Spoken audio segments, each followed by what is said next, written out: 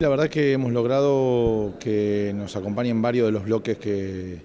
están con presencia de diputados en, la Cámara. Eh, lamentablemente Unidad Ciudadana y algunos sectores cercanos al kirchnerismo no, acompañaron, pero logramos los votos que tenemos que lograr para poder continuar trabajando y creciendo en la obra pública en la provincia de Buenos Aires y mejorando la condición administrativa eh, que, tiene la provincia y que la venimos paulatinamente de 2015 a la fecha y para adelante vamos a seguir trabajando poniéndola en el nivel que tiene que estar. Nosotros eh, acompañamos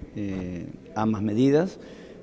con algunas condiciones. Una era que el ministro Gigante venga a hablar con nosotros, diputados, a contarnos dónde estamos y hacia dónde vamos. Queremos saber eso, pero también le queremos dar las herramientas a la gobernadora para que pueda hacer lo que su gobierno marca y creemos que la salida también para discutir la obra pública es la Comisión de Obras Públicas, que el Metro Gigante tiene que poner en funciones y esto le va a hacer muy bien al gobierno de la provincia también.